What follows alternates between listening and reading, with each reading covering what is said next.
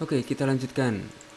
Kita sudah mempunyai tampilan semacam ini. Jika saya klik ini, maka dia langsung punya seperti ini dan kita bisa mengklik ini dan hasilnya sama. Dan bagaimana kita mengisi sesuatu di di area sini? Kita bisa membuat uh, membuat public public lagi dan void lalu di sini adalah paint dan di paint saya memberikan uh, ini grafik dan anda bisa memberikan G atau K atau terserah Anda dan biasanya banyak orang menggunakan G. Dan selanjutnya saya mengetikkan di sini adalah G.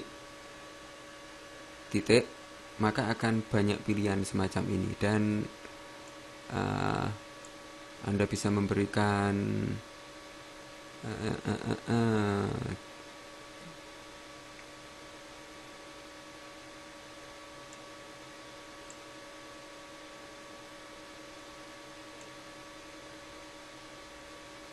drawstring Anda bisa memberikan ini dan jika saya memberikan drawstring saya memberikan kata-katanya.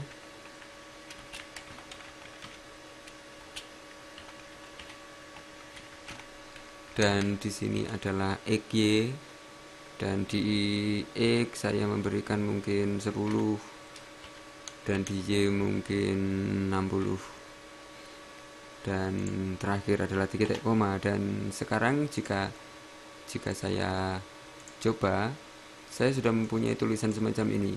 Asal studio tutorial seperti yang ada di sini dan jika saya memakai ini juga akan muncul sama. Dan posisinya adalah 10 di X dan uh, 60 di DJ uh, dan jika jika Anda sudah mempunyai semacam ini dan mungkin draw oval. Kita mempunyai draw oval dan di sini mungkin saya memberikan 60 lalu di sini juga 60 di sini 60 di sini juga 60 belakang titik koma. Dan jika saya membuat ini saya sudah mempunyai lingkaran semacam ini. Dan di grafik di grafik akan banyak uh, yang bisa kita buat. Di sini ada pilihan sangat banyak dan anda bisa mencoba satu-satu untuk untuk memahami tentang apa saja di sini dan kita bisa memberikan banyak hal. Bagaimana jika saya memberikan uh, seperti tadi draw draw oval. Saya mencoba memberikan draw oval. Dan di sini saya memberikan uh, mungkin 80 80 dan di sini 40 40 dan titik koma. Lalu di bawah saya juga menuliskan G. Saya memberikan fill oval dan di sini saya memberikan nilai yang sama. Jika saya memberikan seperti ini.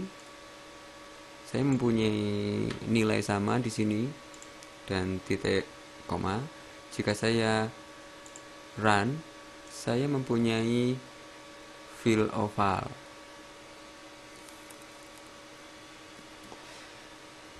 Dan bagaimana kita bisa memberikan oke mungkin warna.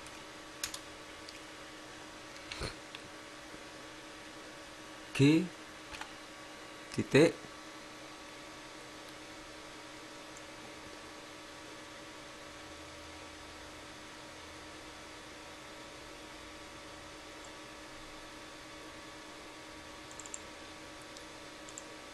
get color mungkin. Dan oh salah.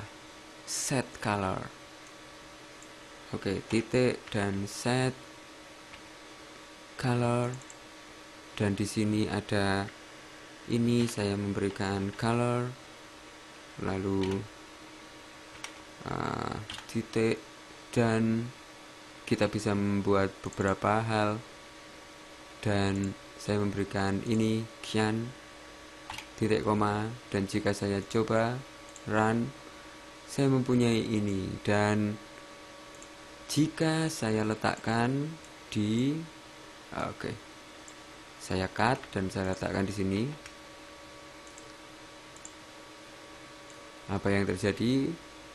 Saya mempunyai uh, yang dikian adalah fill jadi kita harus memberikan warna sebelum objek. Intinya seperti itu. Pewarnaan lalu objeknya yang diwarnai. Dan jika saya memberikan ini lalu saya copy juga di sini.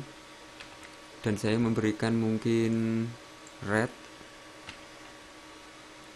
Jika saya run saya mempunyai merah di sini dan akan berbeda dengan di sini. Kalau di sini hitam di sini merah. Oke seperti itu. Dan